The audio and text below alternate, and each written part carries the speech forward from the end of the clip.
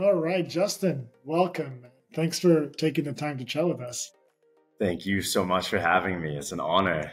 So Justin's taking some time off his vacation to talk to us today. So I'm I'm especially grateful um, to have him today. And you know, we've known each other for a number of years, um, and you know, there's always been a great great relationship. You've been, you know, one of the easiest, kindest customers we've ever worked with. So I was very excited to have you here. Oh, thank you so much. It's good to reconnect with you, and we loved working with you. And I have only great things to say about working with Dillie and with awesome. you, of course. Awesome. Well, yeah, thank you for having. I think so. I think one of the the easy ways to, to get started in the conversation is always hearing a little bit about your background, like uh, you know, sort of inception story, and you know, maybe go a little bit into like Storkcraft over time. But like, how did everything start for you? Yeah, man, that's a Good question. I don't really know where to begin. Uh, born and raised in Vancouver, British Columbia, Canada. Uh, pretty international upbringing. I have a very tight knit family, very close with my my family and my parents, and um, I'm very fortunate that my dad brought me along on his uh, business travels when I was growing up. So I got to go see different countries and. Uh, what did whether, he do? Like, well, what got him to travel so much? Yeah. Uh, well, my dad grew. My dad traveled a lot. Um, so when I was little, I was always being told about his stories throughout his uh, young adult years of traveling through Asia and Africa, and all these amazing stories of being in these countries. Uh, in very interesting, sometimes scary situations. And so I guess growing up, I always just had a, a real affinity for learning about different cultures and learning about different countries. And uh, I remember from a really young age, I used to love just like looking at all the flags of the world and being able to name all of the flags. And uh, even today, one of my favorite things to do is just go on YouTube and type in random countries and random cities and just learn about it. I just love meeting people from different cultures and learning about the world. So whether it was philanthropy or business, my dad brought me along with him, which was great. Um, and also, when I went to university, uh, I went to the University of Southern California, um, Marshall School of Business, and we had a very, very international campus. Um, and also, being from Canada, I was in the international student cohort. So, all of my close friends were from different countries like Saudi Arabia, Turkey, Kuwait, uh, China, all over. So, I just, I just love the world and I love meeting people with different viewpoints and perspectives and backgrounds, and uh, it's really shaped who I am today. And uh, yeah, I don't know if that answers your question. It does. Little... Yeah, no, it does. It's it's uh, you know, it, when people are from Europe, I feel like by default they just like go to like twenty different countries because everything's so close here.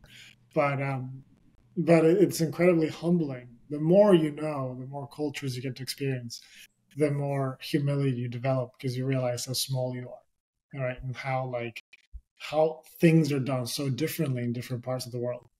Um, so you know, I I couldn't agree more. And it's like like when you start traveling, you start seeing other things, you just want to do it more and more. So what an incredible, unfortunate upbringing you had. When when you went to USC, uh, what happened after? Like you went to business school, you come out of business school, what does Justin want to do? Yeah, it's a good question. Um, I always knew, like, even in high school, I just loved, I was always creative from a young age. I was like making videos and editing videos and designing t shirts and designing logos. And I remember when I was in high school, I took our uh, graphic design class and I was silk screening shirts and designing my own logos and building websites from a young age. So I just love creativity. And um, when I went to USC Marshall, one of the reasons I went there is because in high school I actually um, I was fortunate in Canada. You know, we learn English and French, but the high school that I went to, we were able to choose our second language. So I took Mandarin, and um, so I took four years of Mandarin. Um, interned in Shanghai, which was great, and USC um, gave me the opportunity to continue with my with my Chinese, which was great. And also to be able to go to business school and be able to study business classes right from year one. And in particular at USC, you're able to choose your concentration at USC Marshall, and product and brand management is something that really interested me. Um, I love consumer goods. Um, as a consumer, and also like I love the consumer psychology behind it. Um, I love learning about different brands and how they connect with consumers and make them feel something, the emotional connection to it. So uh, it was great. So I had a wonderful four years at USC. I got to intern for some great, great companies. And coming out of USC, um, I came home, came back to Vancouver, and felt a bit lost. Honestly, it wasn't like an easy ride at all. It wasn't like I think I was under the impression that things would be very linear coming out of USC and things would fall into place. Um, but it wasn't like that at all. It was like uh, cold water to the face, and I felt a bit lost, honestly. And um, but I didn't give up, and things just kind of came together. Um, I really wanted to work for a large consumer goods company. I actually had a list in the notes section of my phone with like, these are the dream companies that I want to work for, and I need to somehow find a way to get in there. And um, fortunately, I things just came together. I went for coffee with a friend who I was talking to him about, similar to the story I'm telling you right now. And then he said, Hey, I know someone that works at L'Oreal and I should connect you guys. I think you would really vibe well. And then he connected me. I told him about my experience and ended up getting my foot in the door with L'Oreal and telling my girlfriend we're packing our bags and moving to Montreal. And uh, I'm going to go work for L'Oreal Canada headquarters. And that was the beginning of my journey in the world of product and brands. How was that? I mean, L'Oreal is such an enormous company. Um, what was it like to, to be inside of a machine like that? Like, what are some amazing. of the things that you were able to do, and maybe some of the things that we were you were not able to do? Sure, it was amazing. Um, brand new city for me. Um, my mom is from Montreal, but I I had never been there, and um, I'd never worked for a large company like that, and they're just so influential, and they own so many brands that I admire yeah. and use, and um, I think it was extra special for me being someone that's so passionate and that puts 100% into everything I do um, to be able to work every day on brands that I actually buy and love and um, vouch for. So that was super cool. And um, I think the best thing coming out of L'Oreal was like just the culture of excellence and uh, the friendships that I made. And I still keep in touch every day with the people that I worked with at L'Oreal. That's amazing. It's, yeah, I mean, one of the the things that I often think about when building products and services and like businesses is like, well, the ultimate thing is when you can build something you can use yourself, right? It's like when you're the customer of the, the creations that, that you have. I mean, that's, it's incredible. It, it's like, it, it, it must be an insane feeling. Um, how does, how do you go from cosmetics into kids? I mean, how does this whole transition happen between like an enormous company like L'Oreal into, you know, at the time, I'm sure like a small startup or like a smaller business, um, or even building something almost from the ground up? Yeah, absolutely. So, um, first of all, I definitely was in love with my job and I was not ready to leave. Um, also, just on a side note, like that was not easy working at L'Oreal was not easy at all because when I got there, um, I knew it was the right fit, but I didn't know too much about what my role would entail. And I found out that a lot of it had uh, to do with coding, and I didn't know how to code. And wow. I was faced with the decision where it's like, pack up uh, and go home. And, you know, it was nice to meet you, but uh, not the right fit for this job. Or, all right, um, let's make this work. So I set my alarm for 4 a.m. and uh, signed up for an online coding class and I taught myself. And uh, I think because I was a consumer of L'Oreal and I loved the product so much and I understood the brand and everything, I, I was able to think about it when I was coding. To me, it wasn't just numbers and letters and um, code, it was like actual products and thinking about how I would like to segment the data. So uh, that was awesome. So anyway, the reason I bring that up is because the whole journey there of like teaching myself how to code and work my way up there, all self taught. Um, it was hard to leave. So, and also as someone that absolutely loved the industry I was in and loved the brands that I was working with, it was really hard to leave for an industry that I didn't know too much about, which was baby. So it was difficult, but definitely an amazing decision looking back. Um, and I'm really glad that I'm able to bring that passion that I had at L'Oreal to a new industry and a new brand. What was the what was the trigger? I mean, what was the trigger point to really make you jump? It must have been, like you said, it must have been terrifying. Even if your job was difficult, um, what what was the change? Getting engaged, proposing oh. to a girlfriend, uh, making her my fiance, and we're both from Vancouver, so uh, getting engaged and uh, we're both very, very tight knit with our families, and just knowing that ultimately our lives were going to be in Vancouver with our families, it was just, you know, time to look towards the future. And my brother is the president and CEO of Storkcraft, and he had taken over pretty soon around the time that I got engaged. And he said that he needed help in the marketing department. And um, beefing up the brand and product strategy, and he asked me to join. And uh, yeah, that's how it all came that's together. that's yeah. that's amazing. You you made a move out of love. what a what love. a great reason. Family, yeah, absolutely. I love that. So where where was the company at that time when you came into it? and where is it today? Like, what has changed? What like what did you encounter at the time when you joined, and like, what are some of the things you've done since then to, to shift the business? Yeah, um, the company was uh, like just a bit of background. So my family owned Storkcraft. Mm-hmm. They acquired the company in the '90s, I believe. Um, but my brother is the only one that is actively involved in the business, and he's given his heart and soul to it. He is Mr. Storkcraft, uh, and I'm just so grateful to be able to work with him because he's an incredible influence on me, an incredible mentor, and he is an amazing boss. But most importantly, he's my best friend.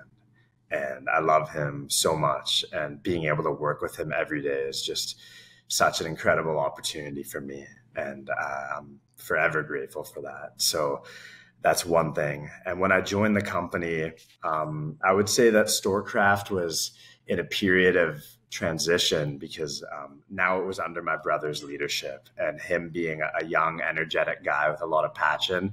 I think he was like shaping the company and ready to position it for growth. So I was able to go in there and really give the brand um, a unique voice and a story. And Storkcraft had been around since 1945 when the first Storkcraft crib was made. So, yeah, I had no idea. I thought it was a yeah. much newer brand than that. 1945. So we are we've been around for nearly 80 years, but we operate like a startup where things happen quickly. We're constantly having our finger on the pulse, and we've got so much passion, and we're obsessed with innovating and becoming better and adapting. And so, yeah, it was just amazing, amazing. What was your What was your grain of salt um, that you contributed towards that shift when your brother takes over, brings you on board as I assume kind of like a head of creative. Uh, what did you feel you had to do to the brand and the product to turn things around and prepare that company for growth? So I think a lot of people knew Storkcraft as like a like a mass market brand, maybe not such a strong brand, not something that they could really connect to. More of like didn't a commodity know, product. Almost. Right, a commodity product. Didn't know that we had been around since 1945 and didn't know the great people that we had behind the brand going to work every day just like in love with what we were doing. And it's such a special industry because I think even for me, when I was faced with the prospect of joining Storkcraft and having to leave an industry that I loved, know, the glitz and glamour of the consumer goods uh, space of, of cosmetics and makeup yeah. and uh, all the uh, all the celebrity names and the glitz and glamour and the beautiful packaging and amazing marketing that goes along with it. I I I was just excited because it was an opportunity to take that that mindset and bring it to a new industry that maybe didn't have that. But there's so much beauty in the baby space because we get to work with families that are preparing their nurseries,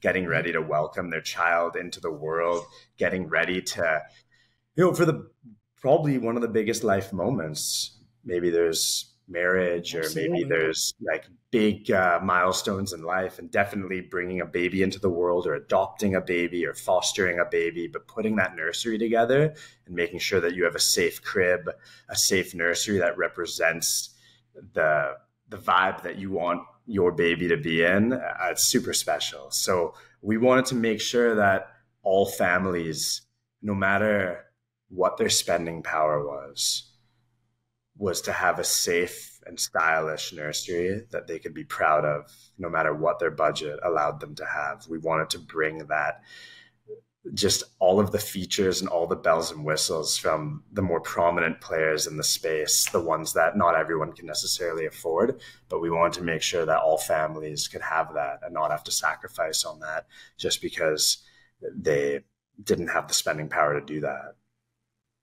I think it's incredible. How, how do you, I mean, my family has owned a business for 90 something years, 93 years, I think. And, you know, it's almost like my entire generation, it's too afraid to take over.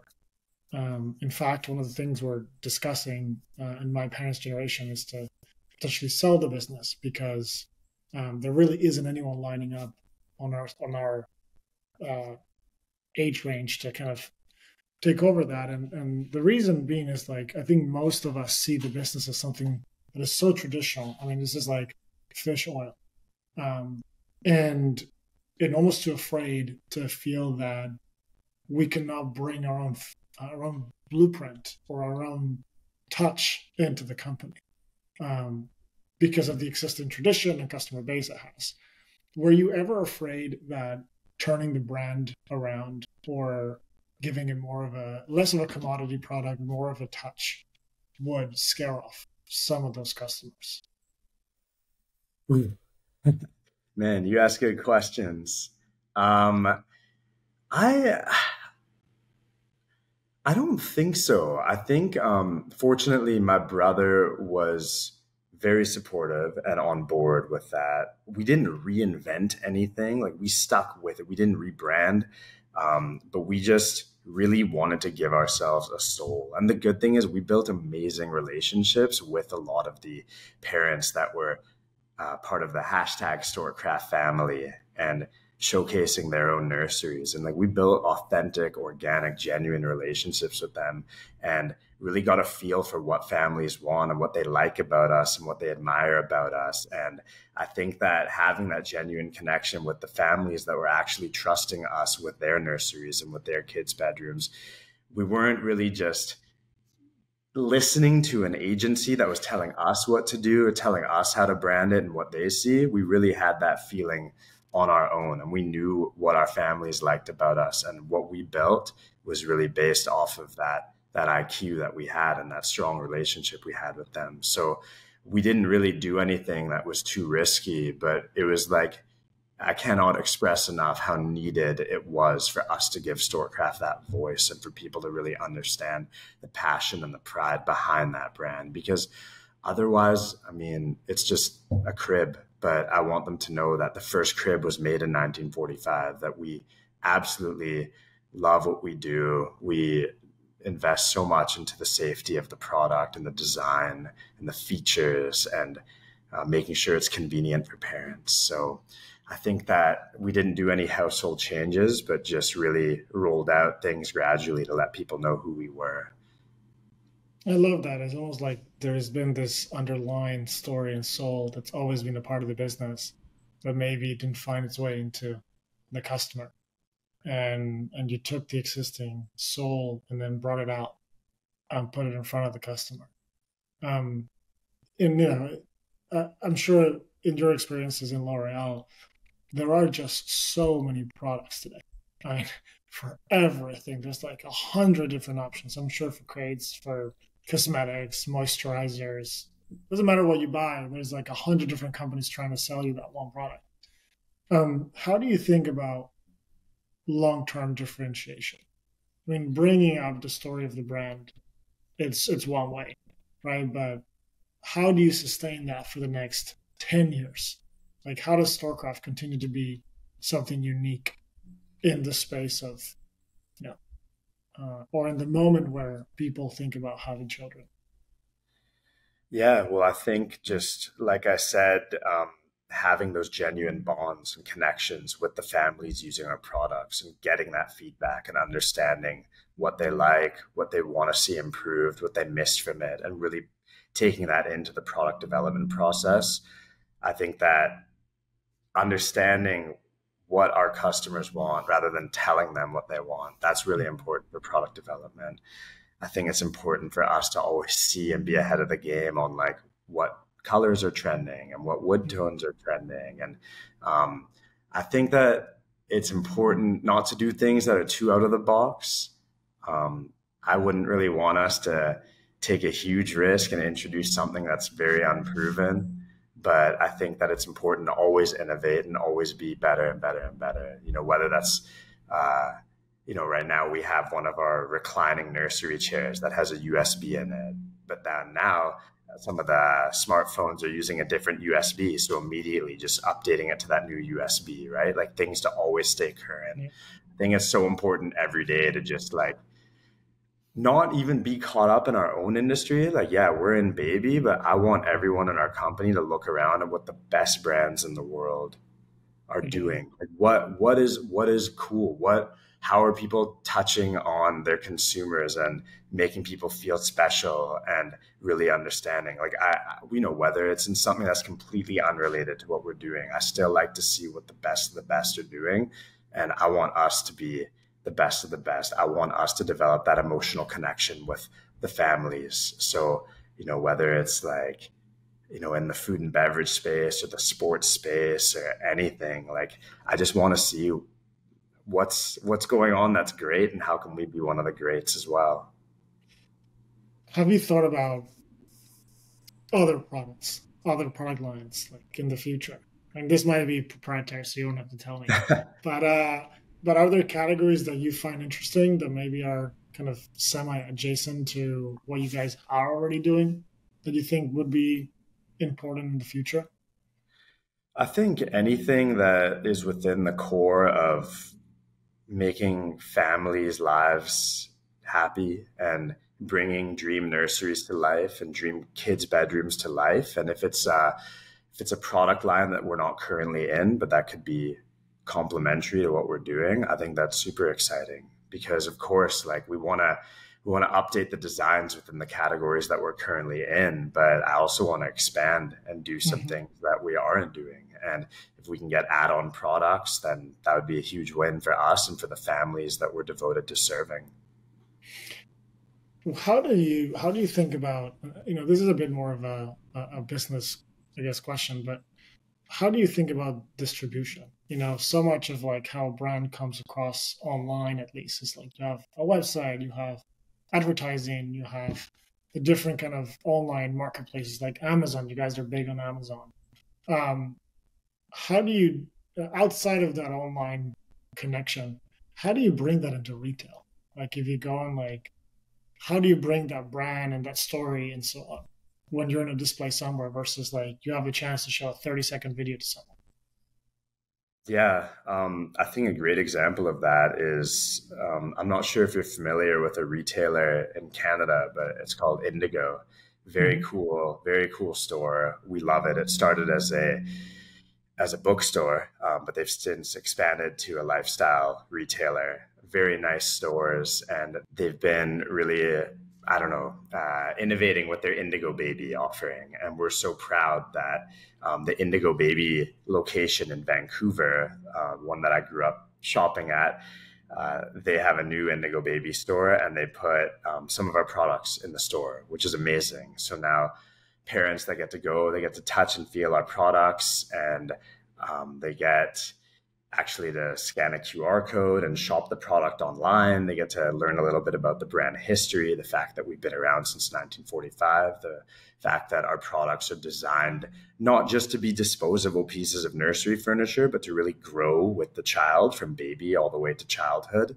So I think getting into retail stores where customers can really feel our product and having those point of purchase displays that tell the brand story and have things like QR codes and have things like letting people know our brand history and have things like visuals to let them know that it's not just a crib, but it also turns into a toddler bed and also turns into a bed.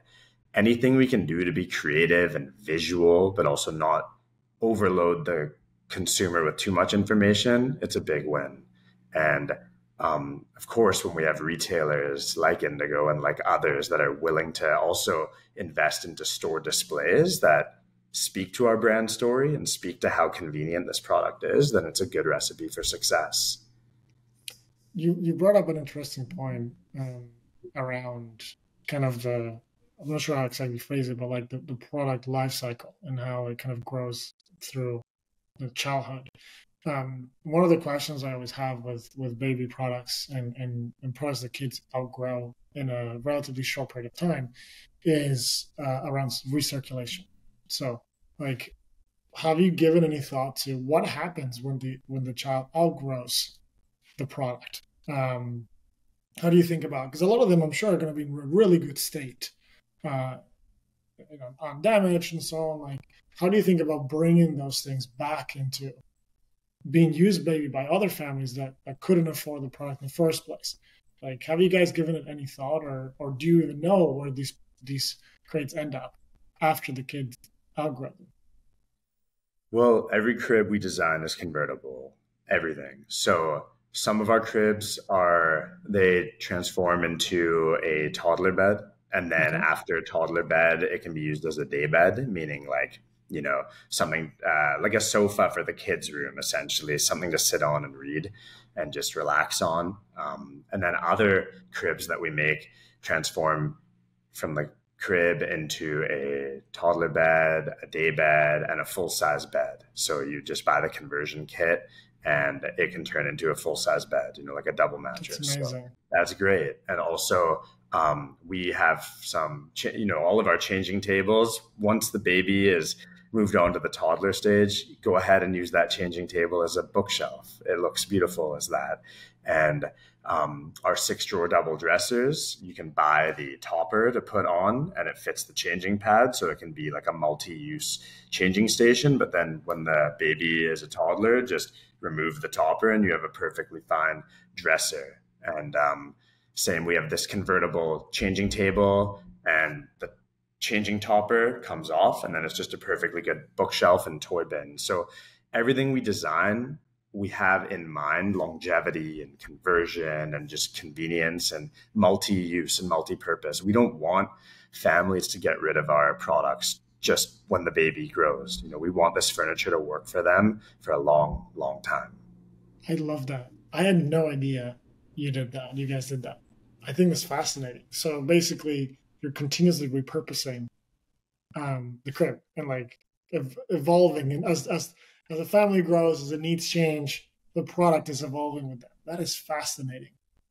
We're also really excited to launch a new brand that we've started a sub brand called Storkcraft next and that's for everything that comes next after the nursery years. So that whole idea of longevity and multi-purpose furniture doesn't just stop with the nursery, but even with the beautiful bunk beds that we have, they're convertible. We have a bunk bed, uh, twin over twin, but it converts into two separate twin beds. So you know, use it as a bunk bed or use it as two twin beds. Put one twin bed in one room, one twin bed in the other room.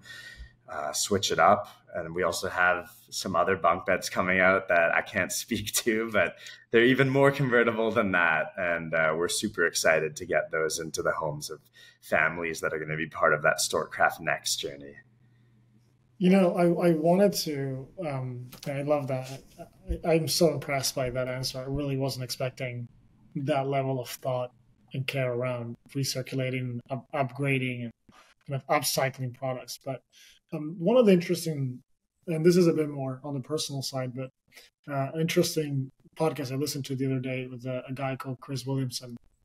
Uh, he mentioned statistic that said uh, by 2030, so in about seven years, um, 50% of women between the ages of 25 to 44 uh, will be single, unmarried, and, and with no no children, no families. Um, for you, you know, and I mean, it doesn't take a genius for for someone to see kind of the trend is. I'm sure on the male side is very similar, right? Like because if those women are going to be single, there's likely a male counterpart is uh, also going to be single, or or a female counterpart is going to be single. That you know, a family is not going to be created. You engage and interact with families all the time, and you see kind of the changes that having children, adopting children, fostering children brings into those families, and like the positive side of it. Um, what do you think the impact is going to be? I mean, forget about just the business, like whether you sell more or less, but society at large, um, of like a massive reduction in and family creation, if you will. It's a tough know. one. It's, it's a, tough, tough question. I wanted to send you a, a curveball. Um, yeah. But it is a tough one. I have my own thoughts, but I'd love to hear if, if you've given it any thought. I'm sure you've heard stats like that at some point. I guess uh, I've heard some. I've heard information leaning towards the other way that there's going to be more babies coming out of the pandemic years, and um, I'm not really sure, honestly, how to answer that. I I'm not going to even try to make up an answer other than like, you know, we just are gonna no matter what happens, no matter what happens with the birth rate, the way it goes, whether it's up or down we're just going to continue to pour our heart and our passion and our energy into making just amazing convertible safe and stylish furniture for the families that are having kids whether it's adopting fostering um, having their own children and uh, I don't know what, whatever happens with the birth rate, it's out of our control. So we're just going to keep focused on being the best we can be and just serving the families that we love so much to serve. I love that. Um, you know, another, I want to throw another curveball, another personal curveball. I saw on LinkedIn um, your philanthropy, some of your philanthropy work. Um, what what brought you into that in the first place, and and what are some of the things that you've done, that you're doing in that space?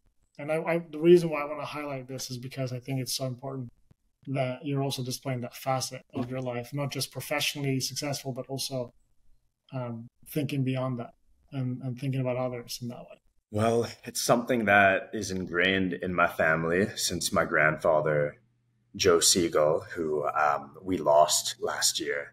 And he was an amazing philanthropist, uh, such a giving individual of his time, of his expertise, of course, of his finances, but his time and his heart. And I think uh, that definitely passed on to my father and my father's siblings. And that was passed on to me and my siblings. And just growing up around philanthropy and around people giving back always, it's just part of our upbringing and uh, genuinely something that I love doing. And I was fortunate with my life partner, with my wife, Yael. She shared with those values. And it's just the greatest thing in the world to do things to get the community together and get people together for causes that really touch on our heartstrings and that we're proud to be able to support. And I guess it's a wonderful creative outlet for me as well because I've always been a creative and being able to do things like, um, you know, recently I designed some shirts and I did a fundraiser. So being able to see people walking around or playing in tennis tournaments wearing shirts that I've designed and knowing that those shirts are going to support uh, kids that are at these uh, tennis centers, these at risk youth. Uh, it's just the best feeling in the world, not just being a creative and seeing people rocking our shirts, but also knowing that it's going to a great cause and it's going to change lives. And I just absolutely love being able to help others. And I'm very grateful every day. Every day, I'm just so grateful for my health and the situation that I'm in that I just never lose sight of being able to use the tools that I have to bring happiness and and help to people that are in need of it wherever they are in the world whether it's local or international. I just it's what fuels me it's what drives me and I, I just love it. And we're doing the same with Storkcraft. You know, I had a, uh, had a lovely organization come to the office and they're building a, a home in East Vancouver for women that are in need, you know, single women that are in need of help and in need of a safe place. It's a maternity safe ward. And they asked if we could help them with outfitting their nurseries. And I mean, absolutely. That's what we're all about at Storkcraft. It's about bringing dream nurseries and kids' bedrooms to life. And if we are in a position to be able to utilize what we are doing and what we are pouring our heart and soul into manufacturing to help families in need that otherwise wouldn't have a safe nursery, a safe place to put their baby, a place to feel safe in the comfort of their own nursery, man, we're gonna do it. We're we're hundred percent. We're all in. So I can't wait to help them. We have amazing charity partners, and we're just so fortunate to be able to give our products to be able to help families in need. And we're going to do more of it. And um, I can't wait for some great partnerships and initiatives for the rest of the year and onwards. So touching listening to you speak about that and how you think about impact beyond just building a business. Um, I think the legend is true that Canadians are the nicest people ever. uh, where where can people find out more about you, about your philanthropy work, about Storkcraft?